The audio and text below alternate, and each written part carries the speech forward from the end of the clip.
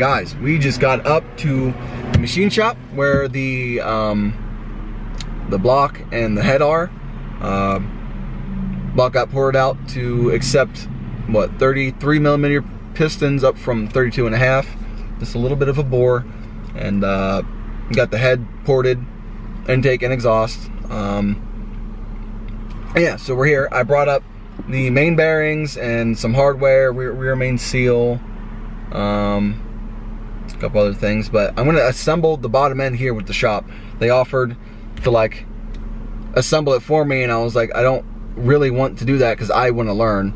And since they have the tools to cut rings and do the valves and all that, so they put they put the valve springs in for me and the new retainers and um, what retainers, guides, all that stuff. All the top end stuff's in. Now I'm about to go in here. I had already dropped off the new pistons, rods, um, what else? Wrist pins, all, all that stuff. So uh, I had to bring up the bearings. They got crank bearings. I got OEM mains, went with Mahle, um, rod bearings. So we're gonna go in here, assemble this. I'm gonna take as many pictures as I can. I can't record in here because of insurance stuff, kind of sucks. But I figured this is the best opportunity for me personally to learn um, what how to do things. You know, I don't have the tool to compress the rings to get the pistons in. I don't I don't know any of that. I'm gonna see if I can get the uh, APR APR ARP studs put in the block as well while I'm here. Um, like I said, in the rear main seal.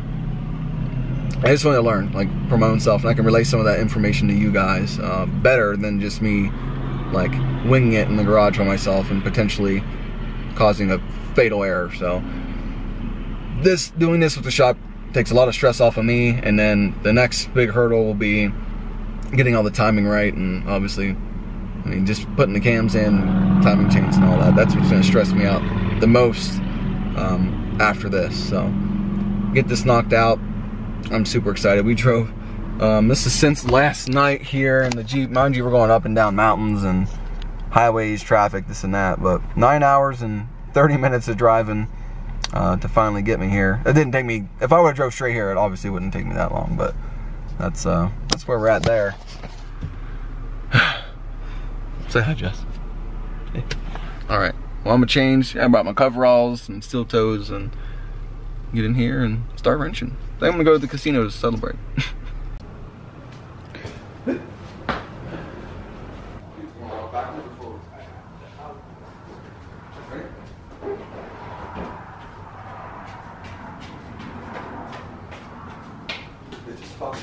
Yep.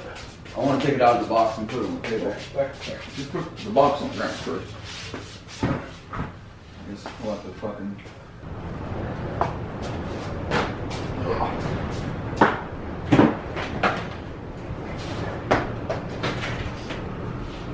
Hopefully next time you're over here, this thing's fucking together. I might be able to just do it. I think it's just one operator, like uh, that.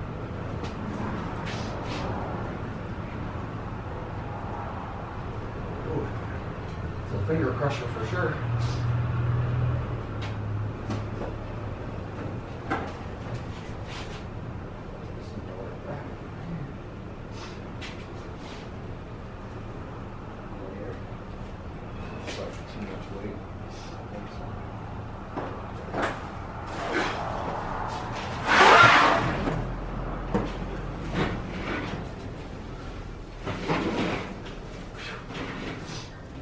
First things first, I'll put that rear main seal on. Then attention staying right to it. Mission accomplished. Alright, so I'm pretty sure I left this video off. Oh no, when we put the block on the table. So, block's on the table. I'm gonna unwrap it real quick, show you guys the block, close up, uh, pull the head out, show you guys close up of the head and stuff. Um, I'm really, really glad I hung out at the shop and did the bottom end there. Like I said, I couldn't record because of insurance stuff, but I got a ton of pictures. They should be popping up right here. Um, it's like a bunch of little neat tricks and how to do the piston rings and, and this, that, and the third, bearings and things to look out for. Putting some sealant on the bolts to go into the side of the block for the um, caps for the crank, and just all types of things. Like really, really glad. I'm sorry I didn't, I couldn't record it or do it at home. Um, it was more beneficial to me to be taught by someone who's built hundreds, if not thousands, of motors before. So that was kind of, uh, what's I don't know the word, just a really good experience for me. So today, um, well, you guys aren't gonna see it in this video, so it doesn't matter. Let me pull this stuff out give you guys some close-ups.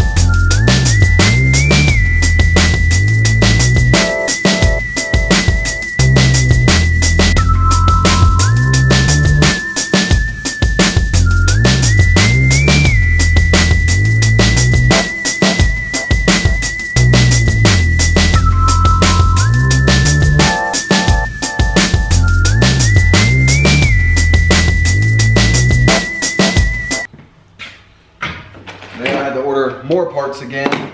There's a, uh, like this plastic sleeve. It's for the, what's it called? One of the balance shafts require it. So I had to order that. I pulled this one out the other day, or when we were at the machine shop so I could actually take a look at it and uh, it didn't look good. So one more thing I had to order. The, A, the AC delete bracket should be here today. Injector should be back in about a week. Um, the downpipe and valve covers getting dropped off tomorrow. It should also be about a week. And uh, really, the only thing I'm really, really missing right now is fluids. I need to get flu break-in fluid for the motor, uh, fluid for the trans. I already got Haldex and diff fluids. Um, I'm gonna redo the Haldex fluid. My toe looks good on the back now. Adjusted those. Need to raise up the front coilovers a little bit, but yeah, we're making progress here, boys. I'm hoping just a couple more weeks motor and trans will be in. Um, need to send an email out to EQT, see if I can like try and schedule some tuning here soon. I mean, I gotta put at least 500, maybe more miles on this thing before we can start tuning or whatever. But be a lot of fluid changes, a lot of filter changes, all types of things to do. I'm all for it. So let's get you guys over here. And there really isn't a whole lot to see. Uh, some shiny metal pieces, but uh, I think you can you can rotate it pretty decently until the pistons get towards the weight top. But this thing is just dope. Like, show me all these little things and stuff, and just ah, yeah. I also ordered some tools today. I ordered that crazy crank uh, counter hold tool I figured I'd need. And then uh, my buddy Clifton let me borrow, I believe it's this kit, yeah, the cam locking set. So I bought one of my own that also comes with some like holder pieces for the, uh, what's it called? The tensioners and a couple other things in it. That was like 30 bucks. The other kit was like 100 bucks. So I got some tools so I won't need to borrow from people got that stuff coming. Um, yeah, it's a little bit of dirt, but let me show you guys. It's a closer up. Like I said, there really ain't much to see, other than everything's shiny and it's got assembly lube on it. the block's nice and clean. I've never seen this thing so clean in my life. Super excited. Um, let me flip this upside down. You guys can see the pistons. Mm -hmm. Here we go. IE third or 38. Uh, 83 millimeter pistons all in looking good Man, I'm so excited for this. You guys really have no idea. A lot of you guys have been messaging me and commenting on the post and all that, saying how excited you are, but I don't think there's anybody out there more excited than I am. So, the other thing I'm worried about is this seal right here. Um, I don't remember if I got one in the kit or not. I need to look. There's like a special tool for it. They make it seem. I think I can just use a socket and hammer it in there, but there's also some bearings like right behind that.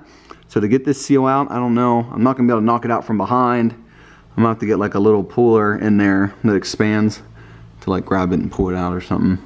If I do have it.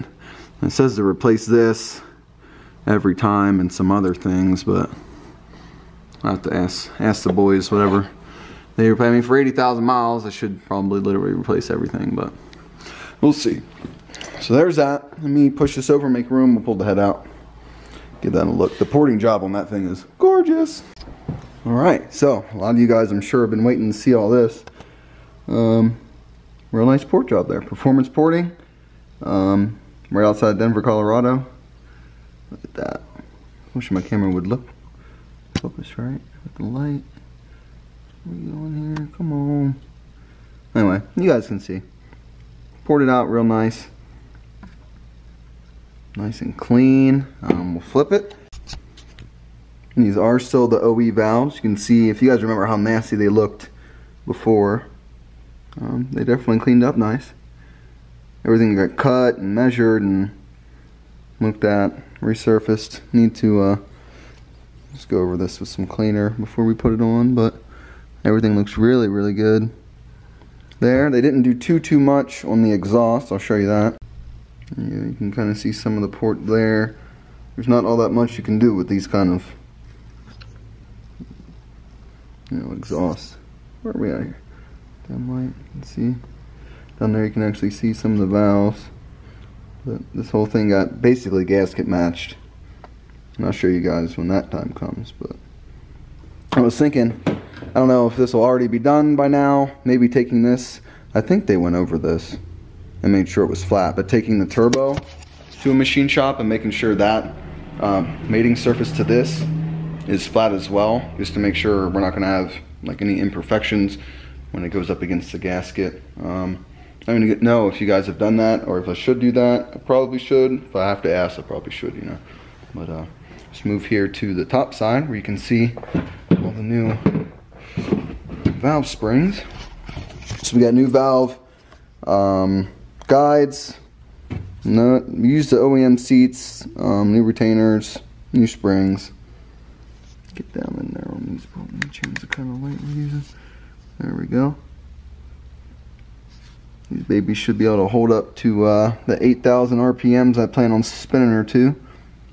That's probably what I'm most excited about in this whole thing. And they said, now because the head's ported and stuff, and I got bigger pistons, the motor's not going to sound the same as it did. It should sound like more, like a lower tone, like not so, not as high. So it should uh, have a nice growl to it. Really, really excited to hear that. Um, plus, new turbo blanket. We're gonna have the downpipe coated, all the extra weight out of the car. And I said, this damn hatch, I've been saying it for six months now. This hatch should be here any day. Last I heard, it was about to get off the boat in California somewhere. And I got a buddy whose hood, I think, is in the same shipment. So hopefully both of our stuff come at the same time. Like, I'm almost ready to put in an order for a vented hood and fenders. Like, um, because if they're not going to show up till freaking, what, at this point, probably like August, September. So uh, I probably can't even order them. I might move again before then. So uh. anyway, there's the two things we've been waiting the most on. Today, I'm going to get this rear main seal on uh, and then get her back on the stand. Uh, get the APR or ARP studs in. And uh, what else I say? Rear main. That's like the three things I want to get on the day. On the stand, rear main, studs in, maybe the lower oil pan or upper oil pan. I mean, uh, get that in and uh, oil pump. Um, and then from there, we'll put the head on, start doing timing stuff. I can't do all the timing stuff till I get, oh, there's this little plastic thing I was telling you guys about. Right here, I kind of have it sitting out. This thing needs to get replaced. You can see here. There we go. You can kind of see where it's like messed up there. Like deformed. So Don't remember it's breaking this off in there. It's like a guide for the, I think it's the exhaust. Anyway, that'll need to go in the trash and a new one bought, so, boom. All right, well, that's all I got for this video. I got parts from ECS, I think, coming today for the sway bar, so I need to drill out the, the old sway bar brackets. Um, be looking out for that. Actually, that should be in the video before that. Or before this. See, I'm making like multiple videos at once to try and streamline things. I want to get ahead on like videos by like five or six videos and then start dropping them and then you guys can watch those and then by the time you catch up, I should be almost real time, like a week week ahead of the video drops, which is about what I normally am. That way we can get through all the suspension tuning, the engine tuning, the road tuning, the, the tuning everything, the whole car. Suspension, motor, trans, just getting everything exactly how I want it. Um, so I gotta put a bunch of braking miles. There's just so many things. So many things. I need to find airbag deletes for the seats. I need to find all types of things. It's kind of stressful. It's exciting. I'll be happy when this is done. Not, well, obviously because I want to drive and race and show it off, but because it's shit's just so stressful. Like trying to keep track of so many different things at the same time. It's not not great for someone with ADD. my head's all over the place, but all right. I need to wrap this, speaking of that, I need to wrap this head back up, put it back in the box and uh, get to work. So thanks for watching. Look out for the next one. Um, shirt should be out by now. Hit the link down below for the website the Instagram, um, the companies I buy shit from, ShopDAP. Once again, always coming in clutch for me. Um, that's all I got for now. Thanks for watching. Catch you on the flip phone.